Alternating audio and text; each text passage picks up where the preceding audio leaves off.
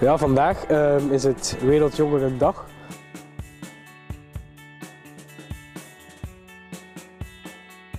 Deze zomer gaan wij allemaal met Walen en Vlamingen naar eh, Brazilië, naar de Wereldjongerendagen. En om alle kandidaten eens samen te krijgen, eh, organiseert IED een Wereldjongerendag.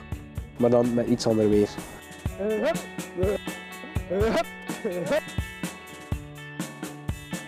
ik neem deel om, om, de wereld te tonen dat we nog bestaan als gelovige mensen, ook in Vlaanderen. En in Brazilië gaan we met 5 miljoen zijn, dus uh, dat is dan toch wel een mooi signaal naar de wereld toe.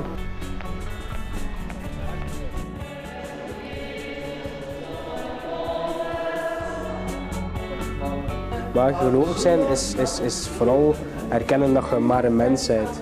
Um, want veel mensen denken dat ze alles kunnen verklaren en dat hun verstand superieur is. Maar wij erkennen dat we eigenlijk maar mensen zijn, dat we niet alles kunnen weten en dat er iets is buiten ons dat we niet kunnen verklaren, maar dat we wel op vertrouwen dat het goed is. En dat is dan God.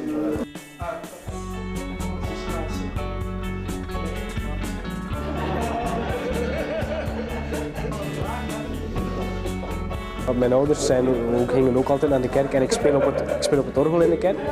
En, uh, dus voor mij is het een evidentie van daar naartoe te gaan.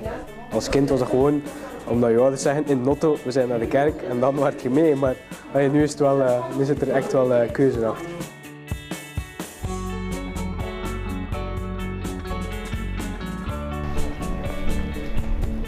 Ik studeer tandarts, dus nogal een uh, strikt wetenschappelijke richting. En we zijn met twee zeer overtuigde christenen tussen allemaal atheïsten en op zich is dat wel boeiend. Dus ik vind dat niet erg, absoluut.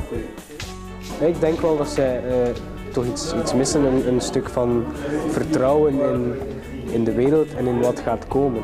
Omdat, voor mij persoonlijk zou het zeer erg zijn om te moeten beseffen van als ik hier nu de straat oversteek en een verkeerde beweging maak, van dan plots knip Martijn is weg.